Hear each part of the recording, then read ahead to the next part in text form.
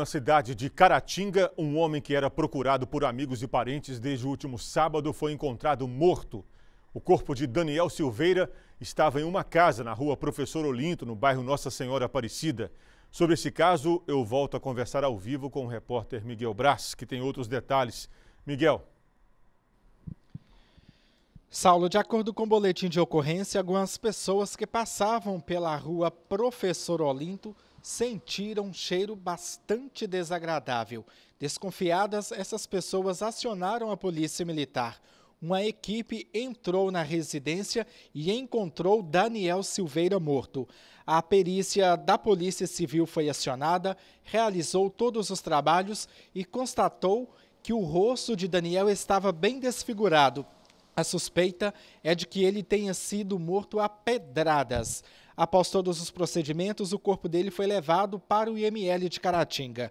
O tenente da Polícia Militar, Wellington Lessa, participa conosco, dando outros detalhes sobre a ocorrência. Vamos acompanhar.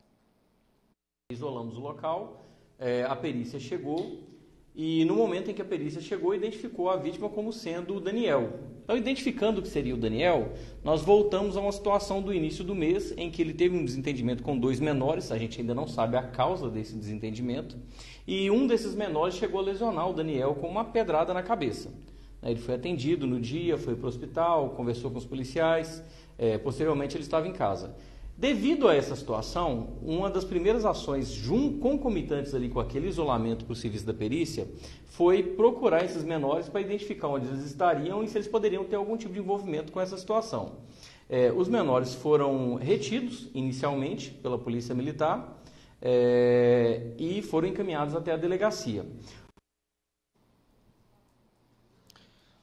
Pois é, Saulo. Agora as investigações sobre este caso estão a cargo da Polícia Civil. Eu volto com você.